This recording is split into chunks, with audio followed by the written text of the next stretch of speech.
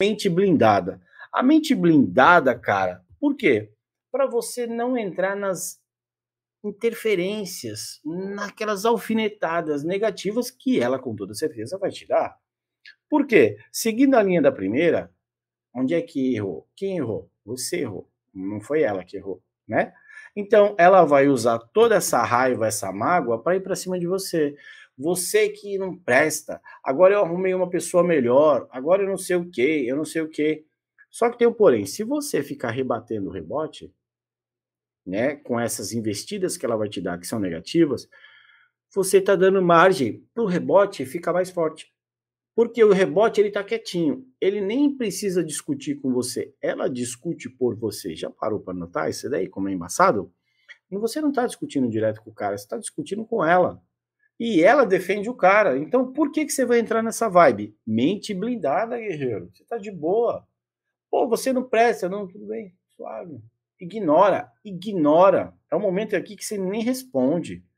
Pô, preciso falar com você, tal, tal, enfim. Aí você, oi, pois não, posso te ajudar, tava trabalhando. É, porque você não presta, não me atende tal. Ó, desse jeito não dá para falar contigo. Quando você quiser falar comigo, eu tô aqui de boa, valeu? Pô, desliga. Faça isso até ela aprender que para falar com você tem que ter respeito.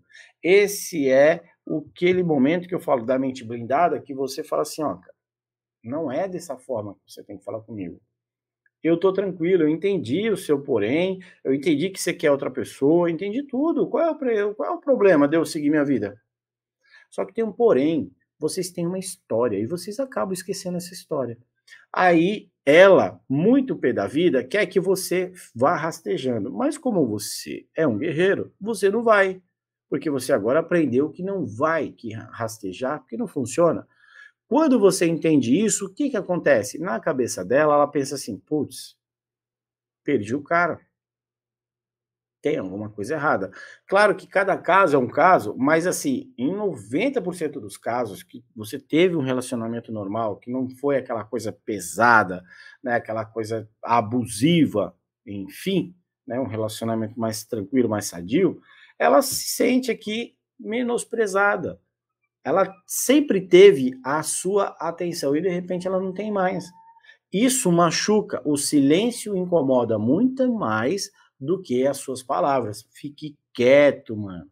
Fala, meu guerreiro, rapidinho, eu dei uma pausa no vídeo para você entender. Você vai clicar no link agora, vai baixar um e-book sobre Reconquista e depois você continua vendo o vídeo aqui. Valeu? Se inscreve, é gratuito. Vai lá, vai te ajudar muito na tua reconquista. Tamo junto. Shalom.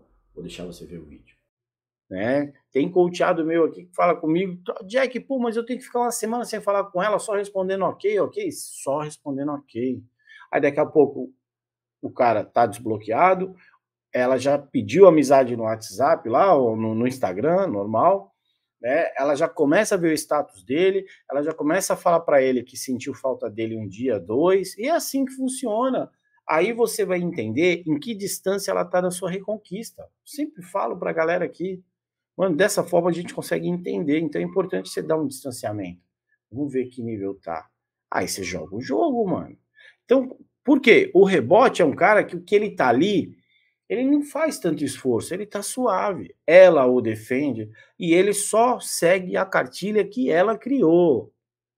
Então não adianta nem você ficar com raiva do cara, porque, meu irmão, todo mundo já foi rebote. Você tá ali vagando, tá de boa, tá, tá, tá ali, pegou a gata, ela vem facinho para você, olha, eu gosto disso, gosto disso, daquilo, e você fala, pô, comigo, sou eu presente, só eu sou profissional. Só que aí depois você vai ver que ela mal saiu do relacionamento, já colou em você. Tu foi o rebote. Foi porque você quis? Não, mano, você tava pegando geral, tava aí, sabe, aconteceu. Então é muito importante você não levar para essa linha pesada, porque por mais que o rebote não preste, né, dentro do sistema, o rebote é uma pessoa comum, normal, que vai seguir o jogo dele.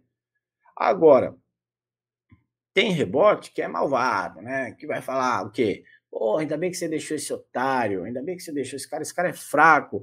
Então, mas por que, que ele se posiciona dessa forma? Porque você dá bandeira você fica indo para trás, pedindo para voltar, chorando, implorando, dando um showzinho. Ô, oh, mano, para, deixa suave.